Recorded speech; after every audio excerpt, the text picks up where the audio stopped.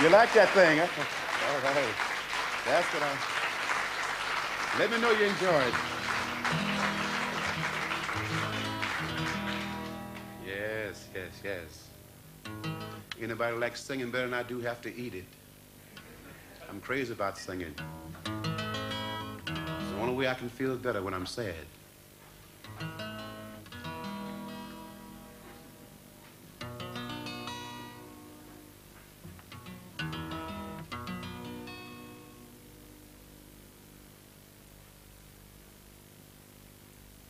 You hometown look the same as I step down from the train. There to meet me was my mama and my papa. Down the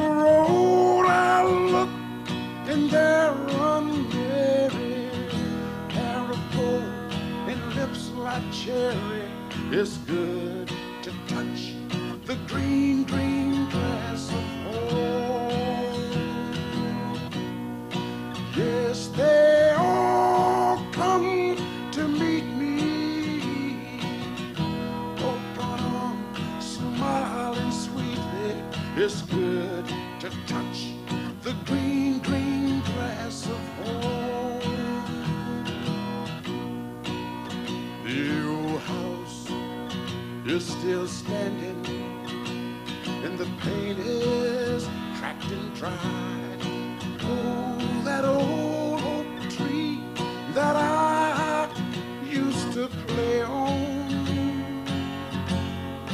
Down the lane I walk with my sweet Mary, hair of gold and lips like cherry, so good to touch the green, green grass of home.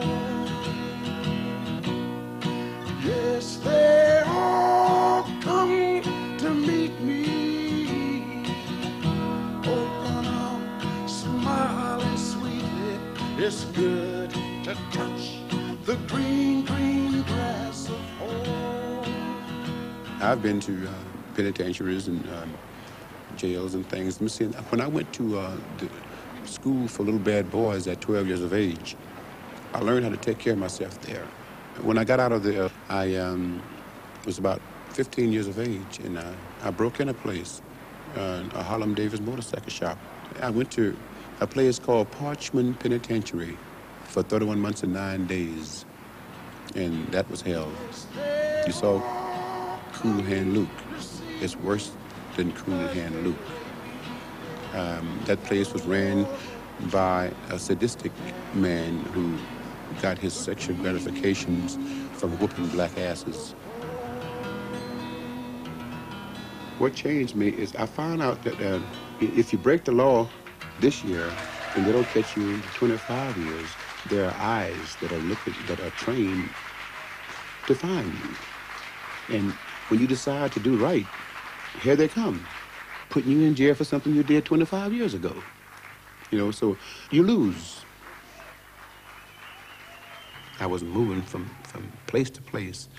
I was trying to survive, living from hand to mouth.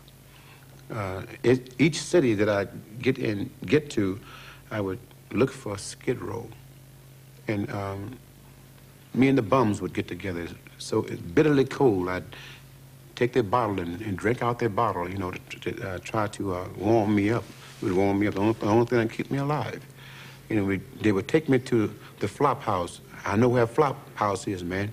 And they'd take me to the flop house and sit there and listen to a, um, a sermon, you know. And after that's over, we have some soup and stale donuts, two or three days old, and some hard bread, and wash it down with some, some coffee, full.